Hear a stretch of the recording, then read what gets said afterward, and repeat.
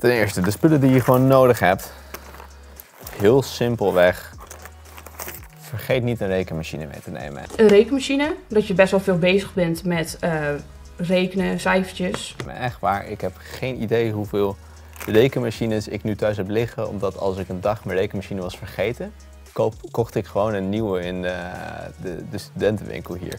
Ten eerste heb ik een boek meegenomen voor het vak financiering. Financiering wordt gegeven in het eerste, tweede en derde jaar van de studie. In het derde jaar wordt het vak gegeven in het Engels. Dit boek is dan ook in het Engels. De lessen zijn wel in het Nederlands, maar tentamen is deels in het Engels en dus alle opgaven ook in het Engels. Ik heb natuurlijk een schrift omdat bij sommige vakken uh, werk je best wel veel met cijfers. Dus dan is het best wel prettig om te schrijven in plaats van mee te typen. Ik heb zo'n schrift uh, met meerdere tabs, zodat ik gewoon uh, hetzelfde schrift kan meenemen voor bijna iedere les. Ik heb ook twee boeken mee.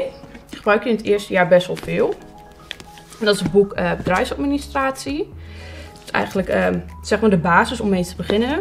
En het basisboek bedrijfseconomie. Ja, daar heb je eigenlijk vier vakken in, in jaar 1. Dus die gebruik je best wel veel. En dit boek is gigantisch. Maar geen zorgen, er wordt gewoon rustig doorheen gegaan. Vakken die ik interessant vind zijn vakken zoals administratieve organisatie. Hier gaat het dus vooral in op de theoretische kant. Hierbij uh, gaat het niet echt om rekenen of om opgaven maken. De laptop. Allerbelangrijkste. Als ik deze niet bij heb, dan kan ik net zo goed weer terug naar huis gaan. Uh, hier staan al mijn opdrachten op, hier staan al mijn uh, gegevens op. Hier maak ik vaak aantekeningen op.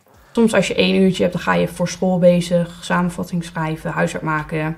Heb je twee, drie tussenuurtjes, komt niet heel vaak voor. Maar dan ga je, gaan we de stad in, gaan we lunchen, dat soort dingetjes. Een pakje kaarten, gewoon voor als uh, het even een heel erg saaie les is en we een pauze hebben tussendoor. Uh, eventjes kaarten. Ik ben ongeveer per dag 6 tot 7 uur bezig uh, aan school. En dat is dan dus het volgen van de vakken en het maken van het huiswerk. Maar in de avond heb je nog genoeg tijd voor een bijbaan of voor uh, eventueel sport. In het begin is het best wel puzzelen hoe je planning in elkaar moet zetten. Omdat uh, van HAVO ben je toch wat minder huiswerk gewend dan op het HBO. Dus in het begin zou je misschien een iets volle agenda hebben, omdat je nog niet helemaal weet hoe je het moet inrichten. Maar het is eigenlijk prima te doen.